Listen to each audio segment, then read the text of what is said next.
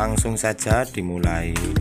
Mari kita cari daun pisangnya. Pertama daun pisang yang warnanya hijau lalu cari yang warnanya kuning.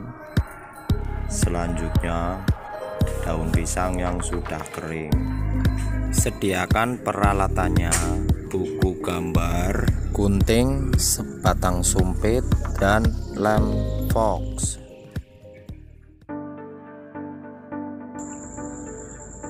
siapkan buku gambarnya.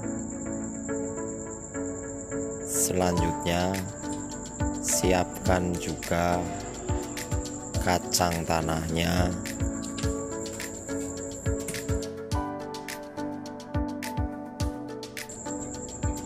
Lalu dibelah-belah menjadi dua seperti ini ya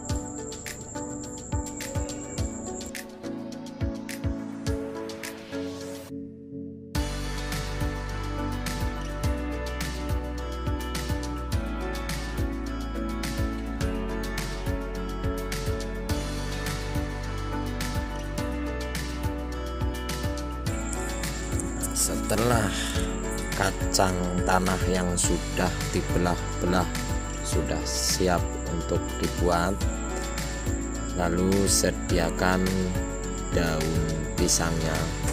Pertama dimulai dari yang warnanya kuning. Buat seperti ini ya dengan menggunakan alat tulis bentuk bulat lalu dipotong menggunakan gunting mengikuti garis yang sudah ditulis ya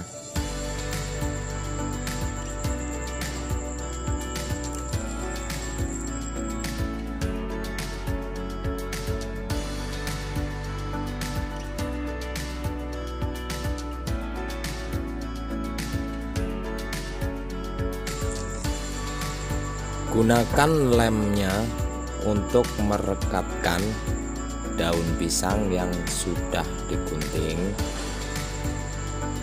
Oleskan hingga merata.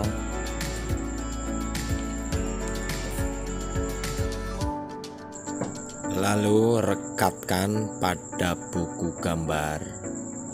Pastikan merekat dengan baik ya dengan cara menekan Selanjutnya sediakan daun pisang yang sudah kering. Gunakan alat tulis untuk membuat pola atau dirobek saja seperti ini ya untuk membuat gambar batang bunga matahari dibuat mudah saja ya seperti ini. Sesuai ukuran yang bulat tadi.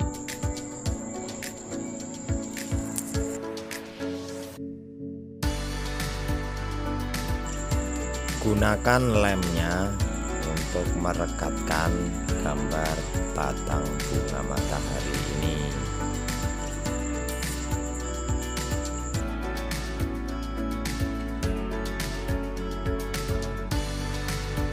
lalu daun pisang yang warnanya hijau ini untuk membuat gambar daun.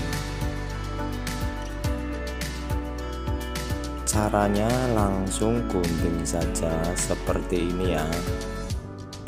Membentuk daun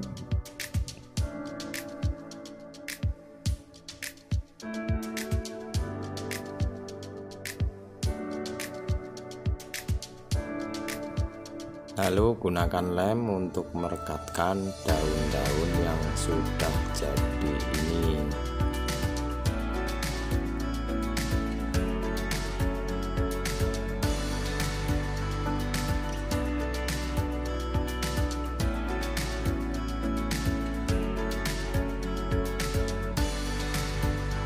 Dan bahan yang terakhir digunakan adalah biji kacang tanah yang sudah dibelah-belah tadi. Rekatkan satu persatu dengan menggunakan lem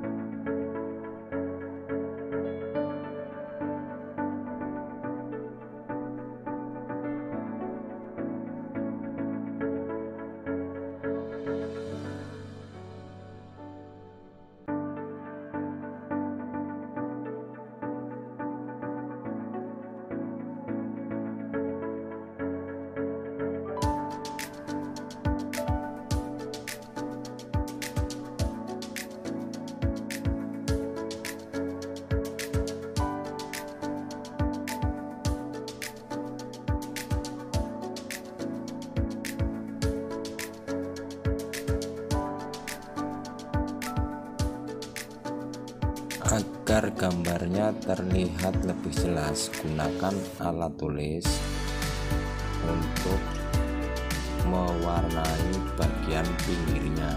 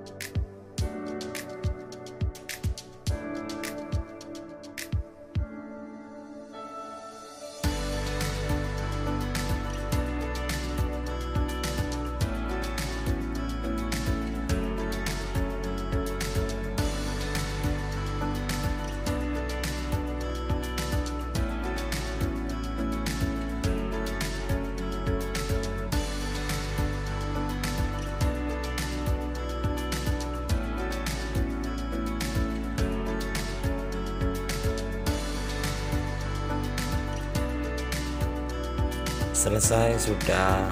Beginilah caranya membuat kolase mosaik dari daun dan biji-bijian. Salam cerdas